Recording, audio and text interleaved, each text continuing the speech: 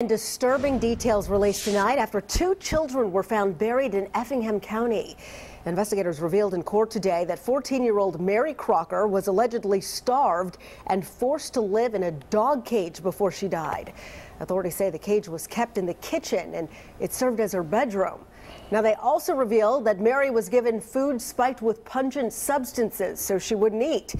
All of this was said to be punishment for misbehaving.